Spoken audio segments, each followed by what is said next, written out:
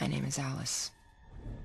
I worked for the Umbrella Corporation, the largest and most powerful commercial entity in the world. I was head of security at a secret high-tech facility called The Hive.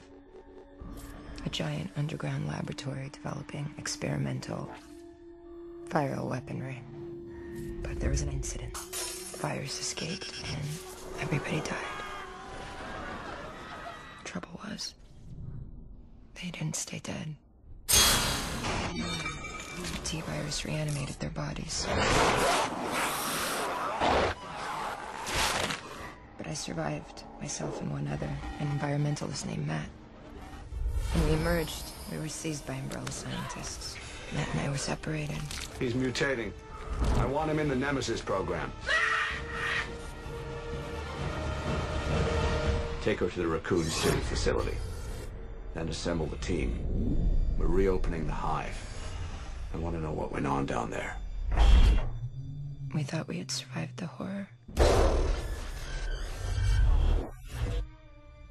we were wrong.